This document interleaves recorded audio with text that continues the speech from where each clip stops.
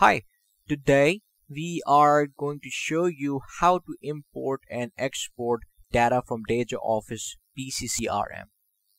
You can easily import or export any table from DejaOffice to Excel. To export data, open DejaOffice PCCRM and select the table you want to export. You can choose any from contacts, calendar, task, or memos. Let's export the table from contacts. Open contacts. You can see contacts list and their details. As you can see the contacts are in a list form. We will have to make them in a grid view before exporting. So in the top toolbar, select three bars on the right and change the view to grid. As you can see the contacts are now in the grid form.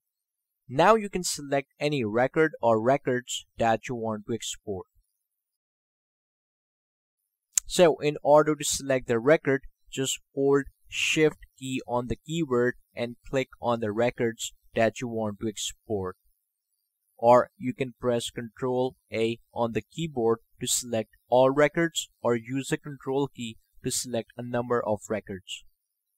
Now you have selected the records. Click on the export button on the toolbar and select your destination folder to save it. You can open the save file in Microsoft Excel easily. You can also import tables in the same way. Just click on the import option in the toolbar and select the file that you want to import from your computer and click OK you can see the file is imported successfully. Now DejaOffice PCCRM is the only modern CRM with data stored on your PC rather than the cloud. It is the only tool available that has sync to highly rated mobile apps that also have local data. If you value your security, privacy, and ownership of your data, use DejaOffice please click the like button. Thank you for watching our video.